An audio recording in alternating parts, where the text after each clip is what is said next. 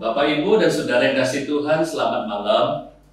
Hari ini kita bersama-sama mengkhususkan renungan tengah minggu pada malam hari ini dengan sebuah topik yang tidak asing bagi kita semua, yaitu kita akan merenungkan satu prinsip yang paling bermanfaat yang saya bilang bahwa ini berkaitan dengan transformasi kehidupan rohani kita sebagai orang percaya yaitu sebuah disiplin yang disebut dengan disiplin rohani.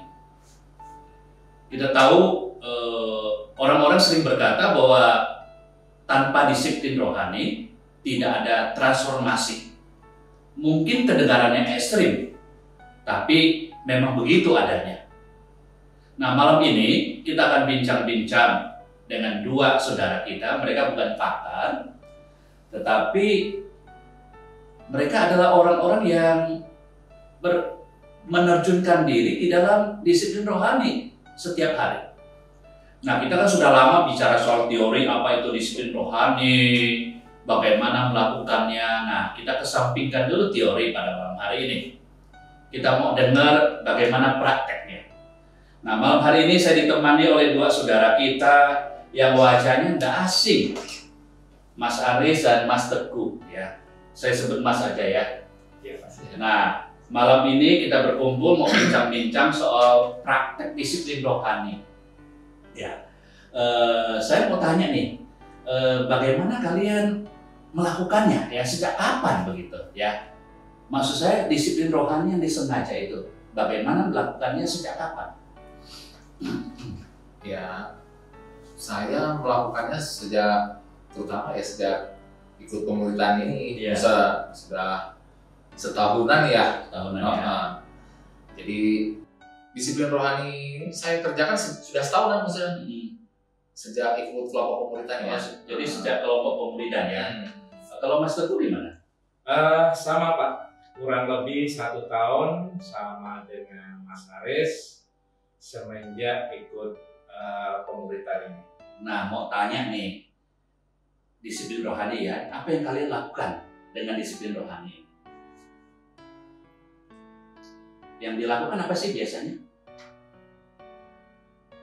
Mas Aris dulu. Nggak apa-apa. Saya dulu ya banyak ya baca kitab Oh iya. kan. Ah, terus eh, baca rumah-rumah bahan-bahan dari kelompok hmm. terus dia mengerjakan PR-PR ada banyak PR-PR juga PR-PR ya. hmm. Contohnya PR-PR apa aja?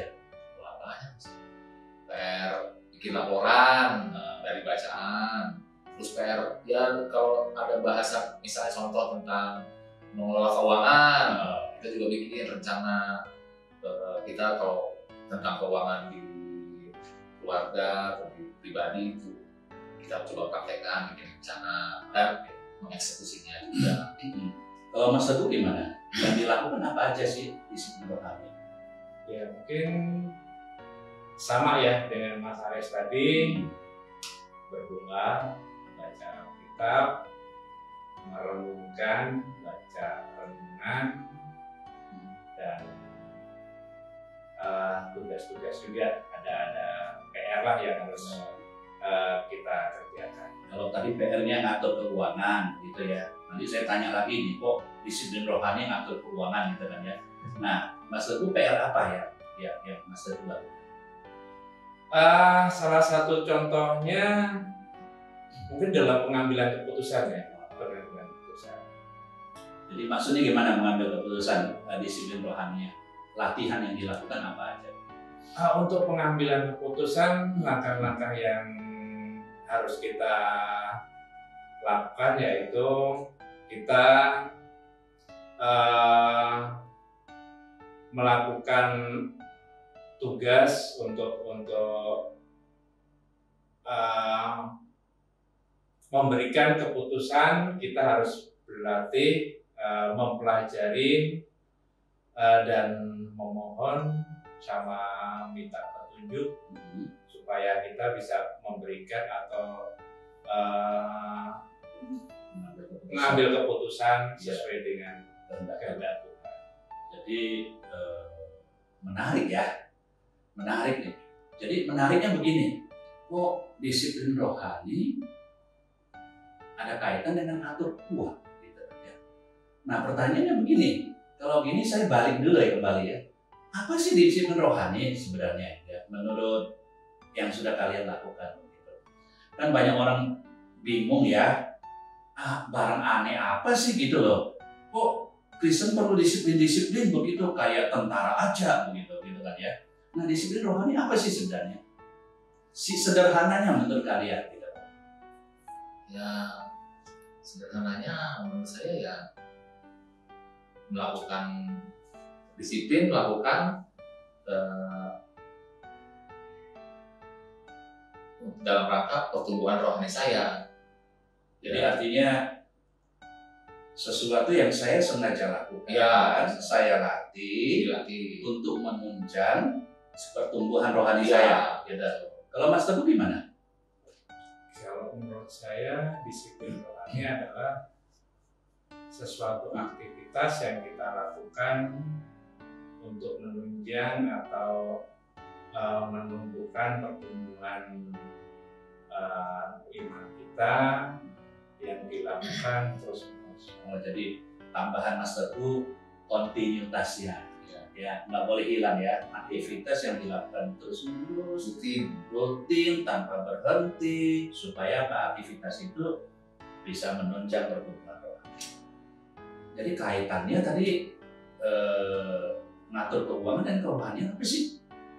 itu kebetulan ternyata kan kita diajarkan bahwa eh, urusan keuangan itu juga adalah apa namanya ya Bagian dari bagian dari kerohanian gitu ternyata ya, jadi sangat penting kita disiplin juga dalam mengatur itu untuk memuliakan nama Tuhan mengatur, maksudnya mengatur bahwa ini untuk apa, ini Iya. untuk apa, ini untuk apa, Ya, sehingga kemudian segala sesuatu kita pakai uang itu tidak sembarangan memuliakan Tuhan. iya, Jadi Alkitab sih memang banyak bicara soal uang ya.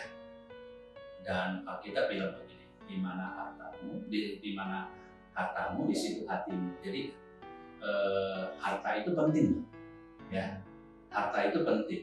Jadi bisa mempengaruhi kerohanian kita kalau kita atur dengan baik, dia bisa menjadi alat yang memuliakan Tuhan. Nah disiplin itu mungkin kaitannya di situ ya. Ya. Nah kalau Master Ku misalnya begini loh.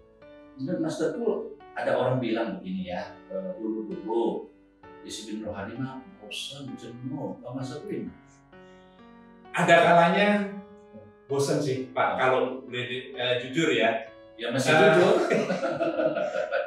Ada rasa bosan, jenuh itu pasti ada Hmm.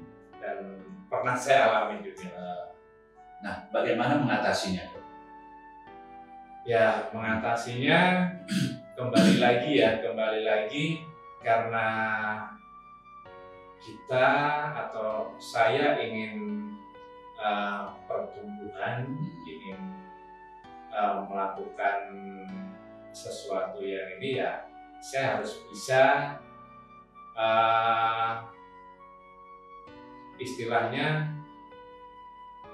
mendalami lagi istilahnya mengesampingkan kejenuhan itu ya ya terus tetap mencoba mencoba ya. Nah, saya ibaratkan gini loh.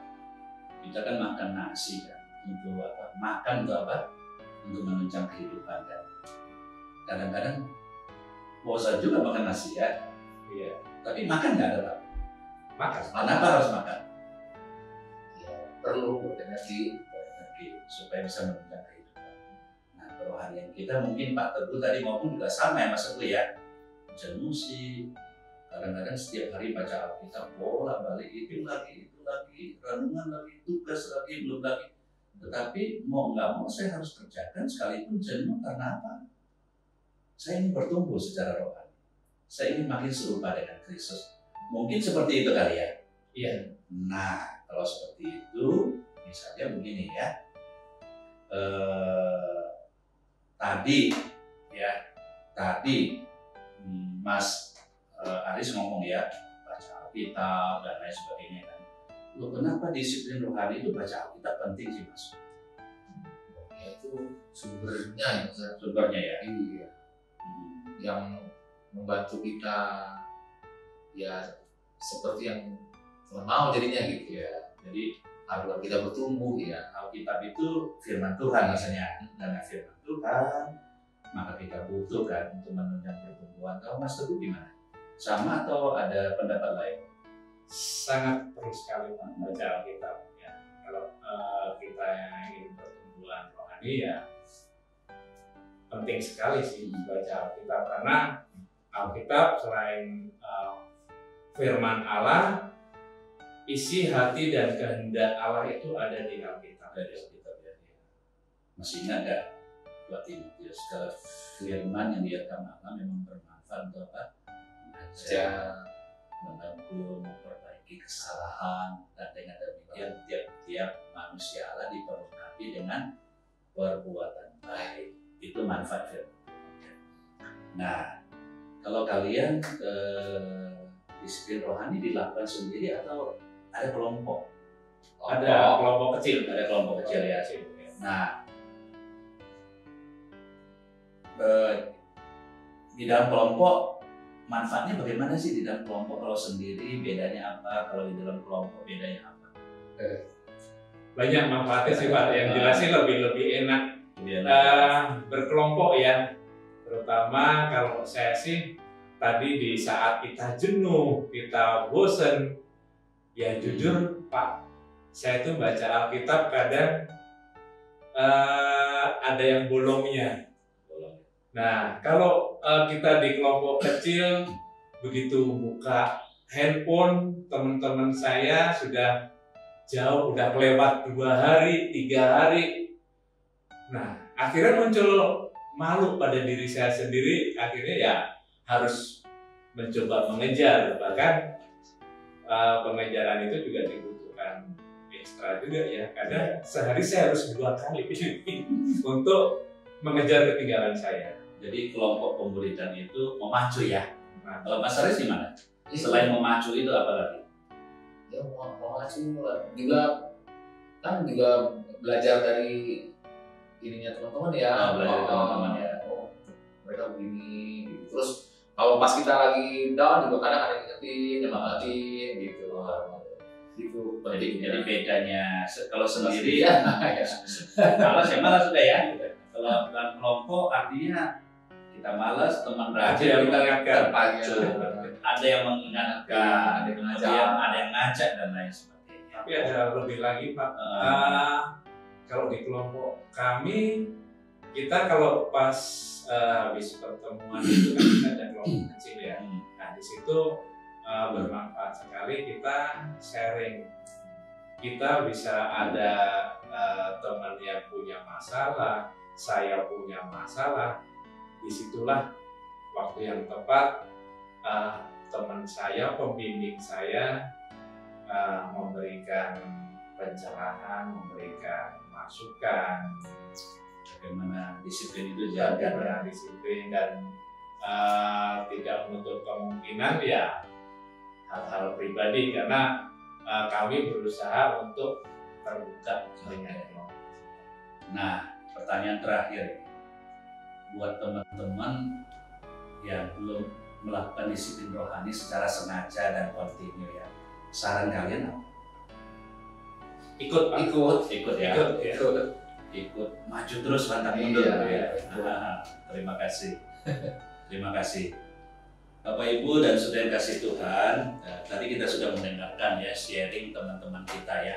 Mereka tidak bicara teori, tetapi mereka bicarakan apa yang mereka praktekkan ya.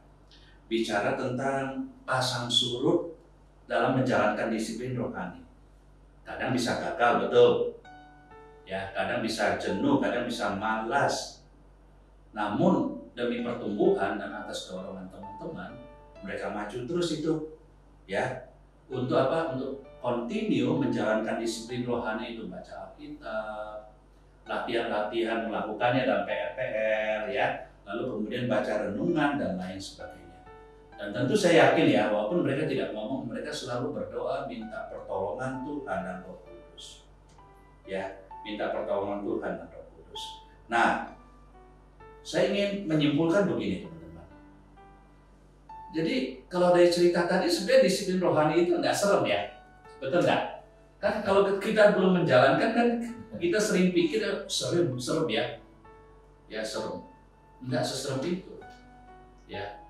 Sesuatu yang rutin kita baca Alkitab, kita hafal ayat, kita baca renungan dan apa yang kita dapatkan kita praktekkan hari itu, baik praktek secara pribadi maupun di dalam kelompok. Nah, saya baca sebuah buku namanya The Good and Beautiful of God. Buku ini tentang disiplin. Ya, dan di dalam buku ini dia ceritakan ada yang namanya segitiga pertumbuhan.